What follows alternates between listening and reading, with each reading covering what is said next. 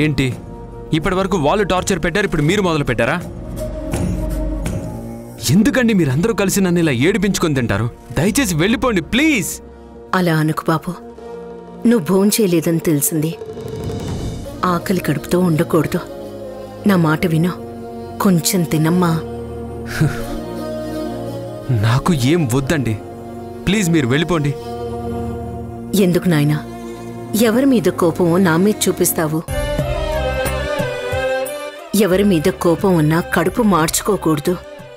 ఆకలితోటి కడుపులోని పేగులు అరిస్తే తల్లి పేగు వెలువెల్లాడిపోతుంది. ఆ బాధ నీకు అర్థం కాదు. నా మాట విను. ఈ సమస్యలు ఇవాళ ఉండి రేపు పోతాయి. ఎన్ని కోపాలు ఎన్ని తాపాలున్నా ఈ రోజు కాకపోతే మరొక రోజు ఏదో ఒక రోజు ఏ సమస్యకైనా పరిష్కారం అనేది దొరుకుతుంది. దానికోసం ఇలా ఆకలిని నిద్రని చంపుకోవడం మంచిది కాదు. కొంచెం తినుబాబు వద్దండి వద్దు. నాకు ఆకలి చచ్చిపోయింది. తినాలన్న ఆశ చచ్చిపోయింది. అసలు ఇది ఇల్లులాగా లేదు. ఒక పెద్ద నరకంలా ఉంది. అరే ఎవరికి వాళ్ళు నా సొంతం అంటే నా సొంతం అంటున్నారు? అసలు నేను ఒక మనిషినని నాకు ఒక మనసుందని ఎవ్వరు అర్థం చేసుకోవట్లేదు. అయినా నన్నేదో సంతలో ఒక వస్తువుని కొనుక్కున్నట్టుగా ఇది నాదంటే నాదంటూ కొట్టుకొని చేస్తున్నారు. నేను ఇది భరించలేకపోతున్నానండి. నాకు అసలు ఇంట్లో ఉండాలని లేదు. అసలు మీ అందరికీ దూరంగా వెళ్ళిపోవాలనుంది. నాకు అసలు మీ ఎవ్వరు వద్దు. ఫస్ట్ నుంచి నేను అనాథనని అన్నారు. అలా అనాథగానే బ్రతకడం నాకు సంతోషం అనిపిస్తుంది. నీ బాధను నేను అర్థం చేసుకోగలను బాబు. అన్ని సమస్యలు పరిష్కారం అవుతాయి నువ్వు కొంచెం ఓపిక పట్టు. నీకెంత కోపం ఉన్నా అన్నం మీద మాత్రం అలక్కూడదు. కొంచెం తిను. ఇక్కడ ఎవ్వరూ తక్కువ కాదులేండి. వాళ్ళకి వాళ్ళు నాకు భర్త కావాలని వాళ్ళు పోరాడుతున్నారు. మీరేమో నన్ను పట్టుకొని నా కొడుకు నా కొడుకు అంటూ మీరు ఒకవైపు నుంచి ప్రయత్నాలు చేస్తున్నారు. మరోవైపు ఆఖరికి చిన్న పిల్లని చూపించి నా ఎమోషన్స్తో ఆడుకుంటున్నారు. ఇందులో ఒకరెక్కువ ఒకరు తక్కువ కాదు. నేను ఎవ్వరిని నమ్మలేకపోతున్నాను. నాకసలు మీ అందరినీ చూస్తుంటేనే భరించలేనంత కోపంగా ఉంది. చూడు బాబు ఇప్పుడు నేను నీ చేత అమ్మాని పిలిపించుకోవడానికి రాలేదు. నా కన్న బిడ్డలాంటి మనిషి భోజనం చేయకుండా ఆకలితో కూర్చొనుంటే చూసి తట్టుకోలేకొచ్చాను. నువ్వు నన్నేం అమ్మాని పిలవాల్సిన అవసరం లేదు. ఆ పిలుపు మనసులోంచి పుట్టుకు రావాలి కానీ ఒకరు చెప్తే వచ్చేది కాదు నాన్నా. ఇప్పుడు ఆ పసిబిడ్డను చూడగానే ఆ బిడ్డని ఎత్తుకొని లాలించమని ముద్దాడమని నీకెవరన్నా చెప్పారా? లేదుగా. నీ మనసులోంచి పుట్టుకొచ్చింది. అది నిజమో అబద్ధమో నీకు తెలియాలి. ఆ పరమాత్మునికి తెలియాలి కానీ నీ మనసులో వచ్చిన ఆ అనుభూతి అయితే నిజమే కదా. అలాగే నువ్వు నన్నమ్మా అని పిలవకపోయినా నీ మనసులో ఎప్పుడో ఒకసారి నిజంగా నాకు ఇలాంటి అమ్మ ఉంటే బావుండు. ఈవిడే నా అమ్మ అయితే బావుండు. ఈవిడ్ని ఒకసారి అమ్మ అని పిలవాలి అని అనిపించినప్పుడే నువ్వు పిలు. పిలవకపోయినా నేనేం బాధపడ్ను. కానీ నువ్వు మాత్రం ఇప్పుడు ఫోన్ చేయకపోతే నేను బాధపడతాను. నువ్వు నా కొడుకువో కాదో నాకు తెలియదు కానీ నా కొడుకు మాత్రం నీలాగే ఉంటాడు. అందుకే నిన్ను నా కొడుకు అనుకుంటున్నాను. నీ స్థానంలో నా కొడుకు భోంచేయకుండా ఇలాగే కూర్చుంటే నేను వదిలిపెట్టి ఉండేదాన్ని కాదు. ఇలాగే వచ్చి బతిమిలాడైనా సరే అన్నం తినిపించేదాన్ని. చూడు బాబు కడుపున పుడితేనే కన్నబిడ్డ కావాల్సిన అవసరం లేదు. మనసు పంచుకున్నా ప్రేమ పంచుకున్నా ఎవ్వరైనా కన్నబిడ్డ కంటే ఎక్కువే అవుతారు. నువ్వు నా కన్నబిడ్డవో కాదో నాకు తెలీదు. నీకు తెలీదు. కానీ నిన్ను చూస్తుంటే నా కొడుకే నాకు గుర్తుకొస్తున్నాడు. దయచేసి ఎవరి మీద కోపంతోనూ నువ్వు భోజనం చేయకుండా మాత్రం ఉండకూడదు. భోంచి నీకంటూ ఎవరూ లేరని నువ్వొక అనాథమని రుద్రాన్ని చెప్పింది కదా. కానీ నేనొక అమ్మని నీకు అమ్మగా వచ్చి నిన్నర్థిస్తున్నాను బాబు. భోంచే నాన్నా. సరే అండి. ఇక్కడ పెట్టండి. నేను తర్వాత తింటాను. అది కాదు బాబు నువ్వు తింటే ప్లీజ్. నేను తింటానని చెప్తున్నాను కదా. అక్కడ పెట్టేయండి. సరే.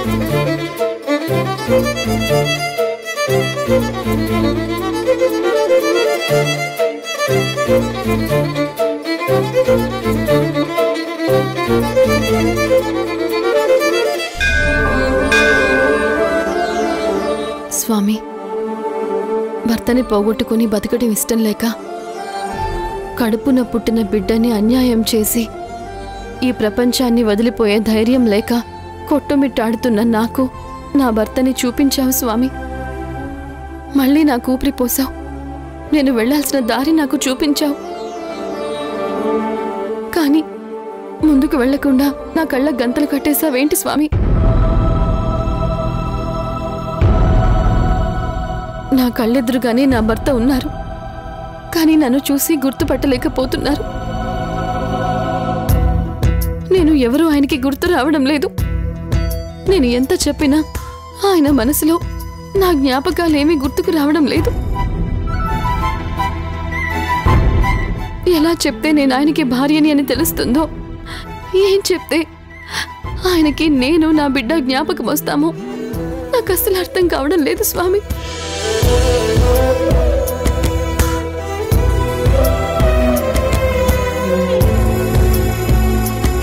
ఇంతకాలం నా భర్త నాకు దూరం అయ్యాడు అన్న బాధ ఒక్కటే కానీ నా కళ్ళెదురుగా ఉండి కూడా నన్ను గుర్తుపట్టలేకపోతుంటే నాకింకా నరకంగా ఉంది స్వామి. నాకు అసలు ప్రాణాలతోనే ఉండాలని లేదు. నా భర్త నాకు దక్కాలి. ఆయనకి నేనెవరో తెలియాలి. ఇదివరకట్లాగా ఆయన ప్రేమగా నన్ను దగ్గరికి తీసుకోవాలి. దయచేసి నువ్వే ఏదో ఒకటి చేయి స్వామి. చంద్రిక. ఏంటమ్మా? చెప్పకుండా ఇక్కడికి వచ్చేసావు ఏం చేయాలో నాకు అర్థం కావడం లేదత్తయ్య. ఇదిగో. నాకు భగవంతుడు ఇంత అన్యాయం చేస్తాడని అనుకోలేదు. ఇది ఎంతవరకు సమంజసమని ఆయన్ని అడుగుదామని ఇక్కడికి వచ్చాను అత్తయ్య. దేవుడు నీకు అన్యాయం చేయలేదమ్మా. న్యాయం చేయటానికే చూస్తున్నాడు. నిజంగా ఆయన అన్యాయం చేసే దేవుడే అయితే నీకు నీ భర్త మళ్ళీ కనిపించుండేవాడా అసలు భరత్ చనిపోయాడు అనుకున్నావు. కానీ ప్రాణాలతో తిరిగొచ్చాడు. కనిపించిన మనిషి భరత్ కాదేమో అనుకున్నావు. కానీ తను భరత్తే అన్న నిజాన్ని తెలియచేశాడు. కానీ ఉపయోగం ఏముంది అత్తయ్య?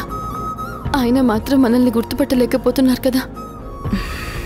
మనల్ని గుర్తుపట్టలేకపోయినా పాపనైతే దగ్గర తీసుకున్నాడుగా? పాపని దగ్గరికి తీసుకున్నాక కానీ ఆ పాపని తన కూతురుగా నమ్మటం లేదు కదా. ఆయన ఇప్పుడు ఎవరిని నమ్మలేని స్థితిలో ఉన్నారే? ఏ విధంగా ఆయన మనసులో మన స్థానం తిరిగి సంపాదించుకోగలం అత్తయ్య? దేనికైనా టైం పడుతుందమ్మా. ఆ రుద్రాణి వాడి మనసుని అంతలా మార్చేసింది. దాని నుంచి బయటపడటానికి వాడికి కొంచెం టైం కావాలి. వాడి కళ్ళ ముందు ఉన్నది వాడి భార్య బిడ్డలు అన్న విషయం తెలుసుకోటానికి అది నమ్మటానికి వాడికి కొంత సమయం మనం ఇవ్వాలమ్మా. వాడు పాపని ఎత్తుకోగానే పాప ఏడు పాపేసింది అది చూసిన తర్వాతైనా వాడిలో చలనం ఖచ్చితంగా వచ్చే ఉంటుంది. ఏ బంధం లేకుండా పసిబిడ్డ ఏడు పాపేస్తుందా అనే ఆలోచన వాడికి ఖచ్చితంగా వస్తుంది. ఈ రోజు కాకపోతే రేపైనా సరే ఆ బంధం ఆ మమకారం వాడి మనసుని లాగేస్తుంది. వాడికి ఖచ్చితంగా మనం గుర్తుకొస్తాం. నిజం తెలిసిన రోజు ఆ రుద్రాణిని తనే మెడపట్టి బయటికి గిండుతాడు. ఇంతకాలం తన భార్య బిడ్డలకి దూరం చేసినందుకు ఆ రుద్రాణి పళ్ళు రాలగొడతాడు. నేను చెప్తున్నాను కదమ్మా మంచి వాళ్ళకి ఎప్పుడూ భగవంతుడు అన్యాయం చేయడు. ప్రపంచం మన చేయి వదిలేసినా ఆ దేవుడు మాత్రం మన చేయి పట్టుకునే ఉంటాడు. మనకి మంచి రోజులొచ్చాయి నీ భర్త మళ్ళీ తిరిగి నీకు దక్కే రోజులు చాలా దగ్గరలోనే ఉన్నాయి. నువ్వేం దిగులు పడుకు నేను చెప్తున్నాను కదా. పద వెళ్దాం.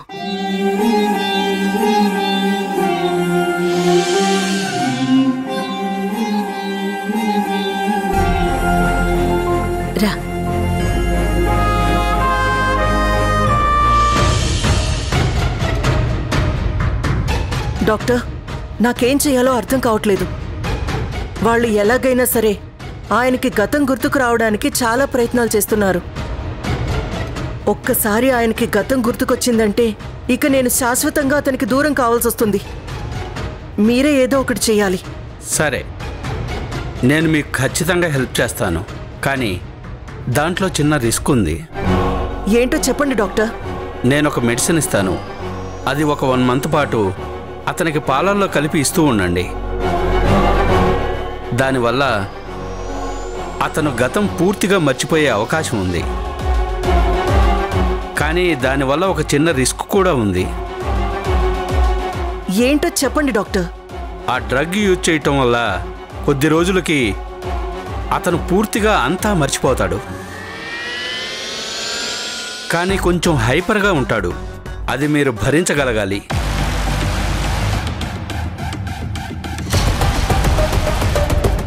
నో ప్రాబ్లం డాక్టర్ నా భరత్ నా సొంతం కావడానికి అతను ఎంత హైపర్ యాక్టివ్ అయినా సరే నేను భరిస్తాను. తనకి మాత్రం గతం గుర్తుకు రాకూడదు. ఓకే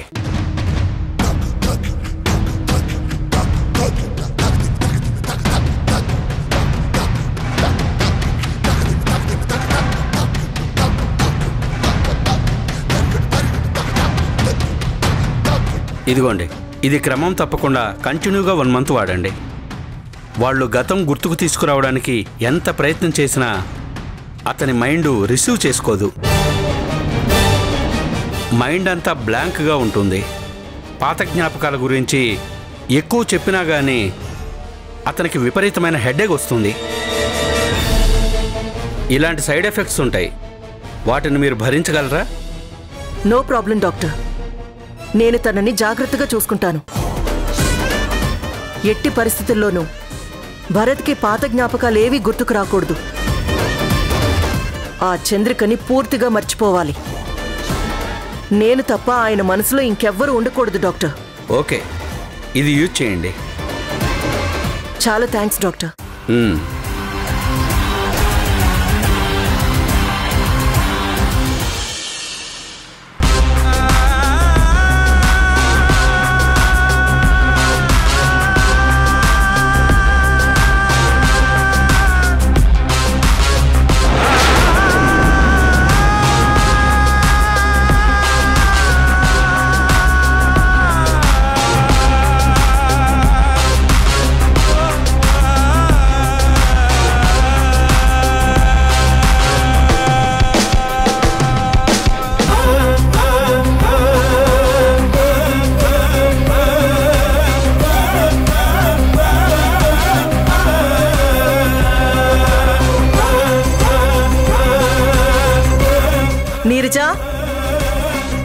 నీరజా.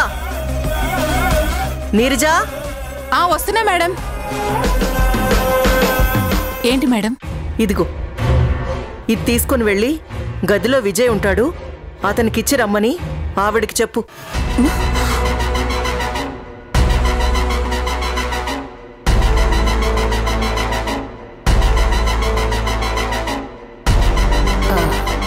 ఏంటి మేడం? ఏమన్నారు? ఎవరికిచ్చి ఎవరికిమ్మని చెప్తున్నారు మేడం? ఇంకెవరికి చెప్తాను? అదిగో ఆవిడ గారు ఉన్నారు కదా. ఆవిడ గారిని వెళ్ళి ఇచ్చేసి రమ్మను.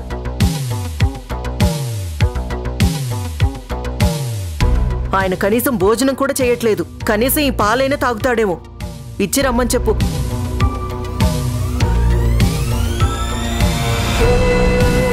ఏంటి మేడం?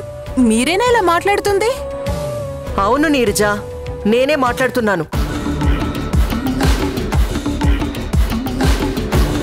మరేం చేయమంటావు?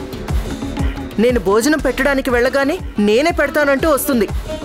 ఇప్పుడు నేను పాలు తీసుకుని వెళ్ళగానే నేను వస్తాను అంటూ ఆవిడొస్తుంది. ఆయనకేమో చిరాకొచ్చేసి అసలు పాలు తాక్కుండా అలాగే పడుకుంటాడు.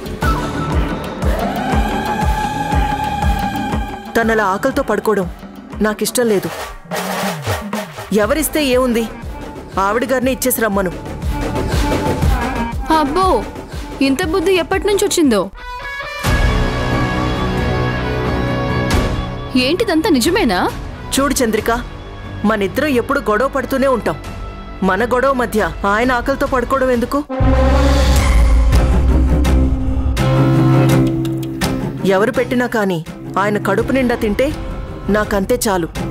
ఇప్పుడు నీతో పోటీకొచ్చే ఆలోచన నాకేం లేదు. నువ్వు వెళ్ళిచ్చేసిరా చాలా సంతోషం.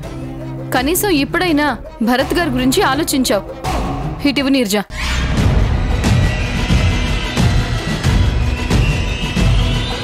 మేడం ఒకసారి గిల్లండి. ఎందుకు? గిల్లండి మేడం! ఏదో గిలమన్నాను కానీ మరి తోలుడేటట్టు గిలమలేదు మేడం. ఇంతకీ ఆ పాలలో ఏం కలిపారు మేడం? పాలల్లో కలిపానా? ఏం కలుపుతాను? పంచదార కలిపాను. అది కాదులే మేడం. ఇంకేదో కలిపి ఉంటారులే కానీ చెప్పండి ఏం కలిపారు? ఒసే నీరజా అలాంటివి కలపడానికి మందులు తయారు చేసేది నువ్వు నేను కాదు. అంతేలే మేడం. అవసరం ఉన్నంత సేపేమో నన్ను వాడుకున్నారు. అవసరం తీరిపోయిన తర్వాత నా మీద నిందలు వేస్తున్నారు. ఒకప్పుడు నేనిచ్చిన మందు వాడే కదా చంద్రికకి భరత్కి మధ్య గొడవ సృష్టించారు. ఇప్పుడేమో నేను తప్పు చేసిందాన్ని అయిపోయాను. ఎంత గొప్పోళ్ళు మేడం. ఇప్పుడు అవన్నీ అవసరం అంటావా? మరి లేకపోతే దాంట్లో ఏం కలిపారు అంటే చెప్పకుండా నన్నేదో అంటారేంటి? నీ మొహం. దాంట్లో ఏం కలపలేదులే. నిజంగానే భరత్ ఏమీ తినకుండా అలా పడుకునుంటే నా మనసుకి బాధేసింది. మా ఇద్దరి గొడవల్లో ఆయనేమీ తినకుండా ఆరోగ్యం పాడు చేసుకుంటే చివరికి బాధపడేదెవరు? నేనే కదా. అందుకే నేనే ఒక స్టెప్ తగ్గాను. అంతకు మించి ఇంకేం లేదు.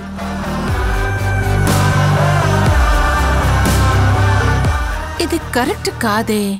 కనీసం కడుపులో ఉన్నది అరక్కపోతే వాంతి చేసుకోవటానికైనా పులి గడ్డి పరకలు తింటుందేమో కానీ ఈ రుద్రాణి మాత్రం ఇంత పాజిటివ్గా మారింది అంటే నాకు నమ్మబుద్ధి కావడం లేదు.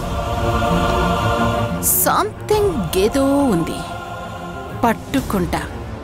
ఏదో ఒక రోజు నీ మైండ్లో ఏముందో మొత్తం బయటికి కక్కిస్తా.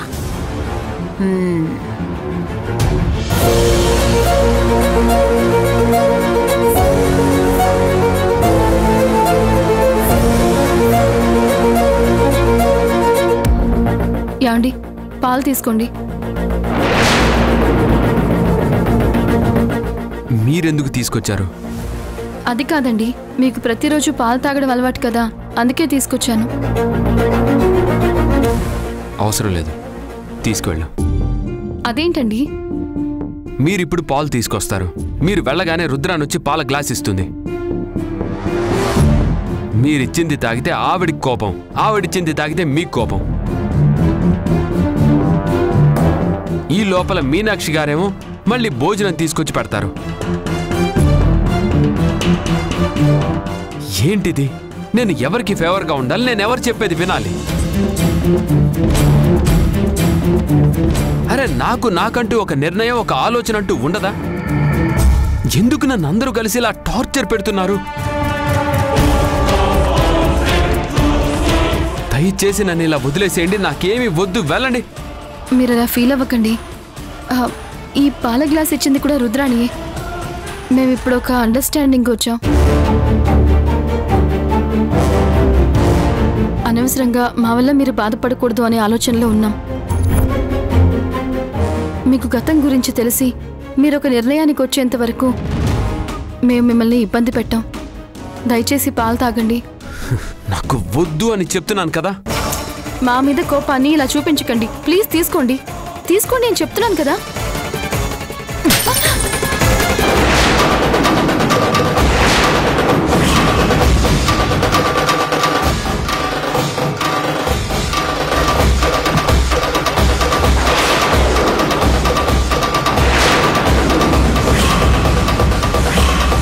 నువ్వు అనుకుంటున్నట్టు నువ్వు విజయ్వి కాదు. భరత్వే. చంద్రిక? చంద్రిక? ఏమైంది నీర్జా? ఎందుకంత కంగారు పడుతున్నావు? నీకు మంచి రోజులు రాబోతున్నాయి. నీ భర్త నీకు దక్కబోతున్నాడు ఆ శుభవార్త చెప్పి పోదామని వచ్చాను. ఏవైంది నీరజ? ఆ రుద్రాణి భరత్ బాబు దగ్గరికి వెళ్ళి నీ పేరు విజయ్ కాదు భరత్ అని చెప్పేసింది.